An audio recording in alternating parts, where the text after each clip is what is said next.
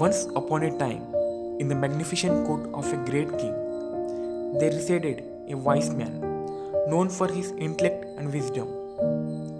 One day, the king summoned him to his court and posed a question Tell me, wise man, which is more valuable, gold or silver?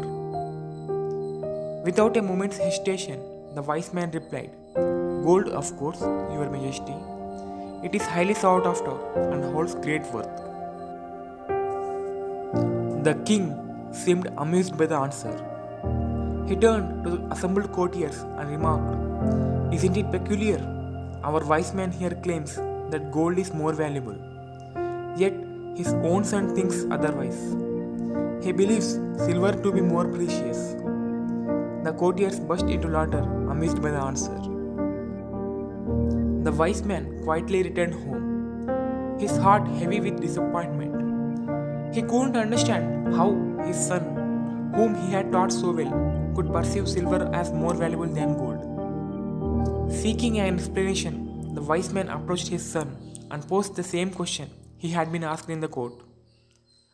To his relief, the son promptly replied, Gold, father, gold is undoubtedly more valuable. The wise man inquired, Then why did you tell the king that silver is more valuable? He insulted me before the entire court.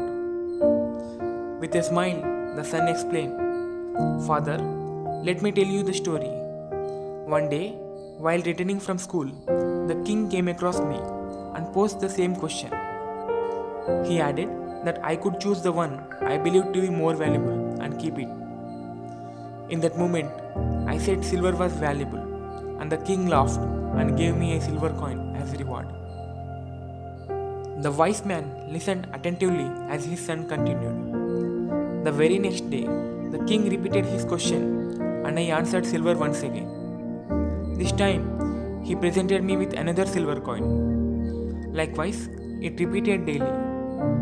Then the son exclaimed, pointing to a box filled to the brim with silver coins. I collected all these silver coins.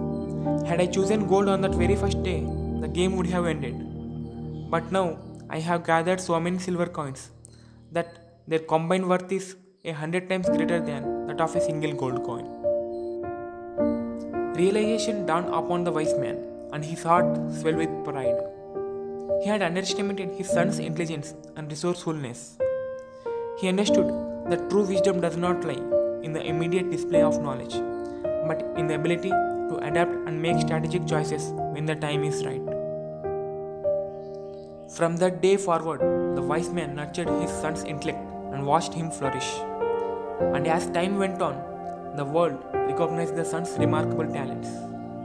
He shone brightly, earning the respect and admiration of all. The moral of the story remains in our hearts.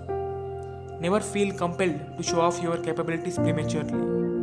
Instead, wait for your time and let your talents shine when the world is ready to appreciate them.